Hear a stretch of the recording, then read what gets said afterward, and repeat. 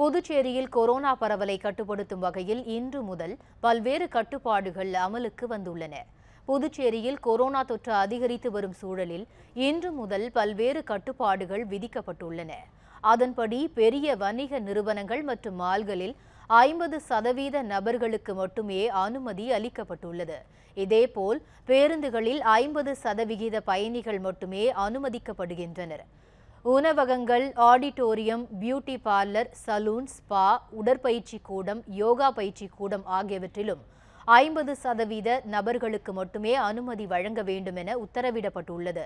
குறிப்பாக உணவகங்களில் உள்ள மேஜைகளில் இரு இருக்கைகள் மட்டும் போடப்பட்டு வாடிக்கையாளர்களுக்கு உணவு பரிமாறப்படுகிறது. மறு உத்தரவு வரும் வரை இத்தகைய நடவடிக்கைகள் தொடரும் என தெரிவிக்கப்பட்டுள்ளது.